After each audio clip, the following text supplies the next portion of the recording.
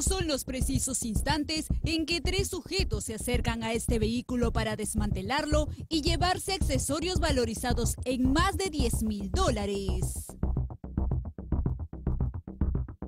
Esto ocurrió en la cuadra 2 de la avenida Borgoña, en Pueblo Libre.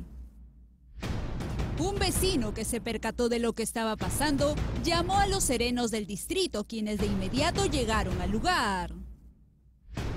Ahí vemos a estos delincuentes que al percatarse de la presencia del sereno, se esconden para luego correr hacia el vehículo que los estaba esperando. Es en ese momento que empujan al sereno que estaba en su moto y este cae al pavimento. Cogen su radio y la lanzan lejos para que no pueda solicitar ayuda.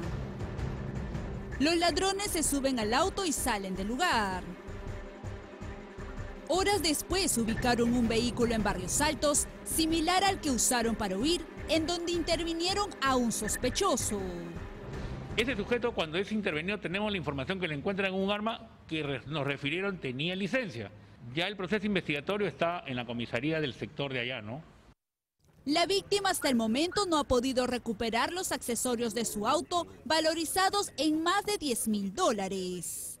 Sí, lo han roto esa luna de aquí, ¿no? Para poder ingresar, sacarle el seguro, poder ingresar. ¿no? Aquí se han robado todo lo que es este, la, parte de la pantalla, las radios, también los accesorios de la computadora.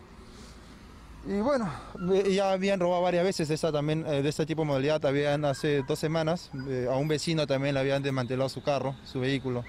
Acá todavía se puede visualizar aquí eh, los instrumentos, ciertos instrumentos que han utilizado para desmantelar el carro, ¿no? Para la llave, de tuercas, un cuchillo para, supongo, para cortar los cables la batería, se han llevado la caja de cambio, las bujías.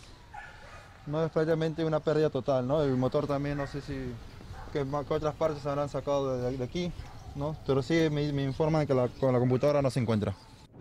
Indica que esta no es la primera vez que es víctima de la inseguridad ciudadana. Hace una semana le robaron los espejos del auto de su esposa y aunque intentó enfrentarse al delincuente, este salió huyendo con el botín. Este hombre solo espera que las autoridades puedan encontrar a los demás integrantes de esta banda y que reciban la sanción respectiva.